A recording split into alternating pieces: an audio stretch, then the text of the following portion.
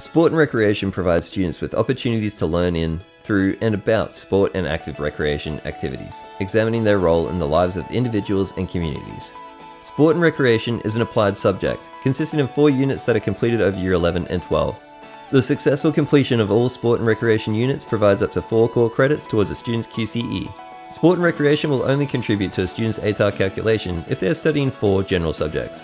In sport and recreation, you will investigate topics such as sport and recreation in the community, sport recreation and healthy living, health and safety in sport and recreation activities, and personal and interpersonal skills in sport and recreation activities. In sport and recreation, students will complete assessments in the following forms projects, investigations, extended responses, performances, and examinations. Assessment in Unit 1 and 2 are designed to provide exposure to the assessment styles used in Unit 3 and 4. To be successful in sport and recreation, you need to have the ability to demonstrate, describe, explain, apply, manage, use language conventions, evaluate, and create. Studying sport and recreation in senior can lead to a broad range of future study and career opportunities, such as fitness, outdoor recreation, sports administration, community health, and it may also lead to employment in occupations such as a personal trainer, a sports administrator, or a sports and recreation officer.